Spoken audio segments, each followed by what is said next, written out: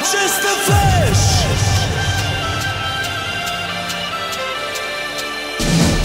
Here we go, here we go,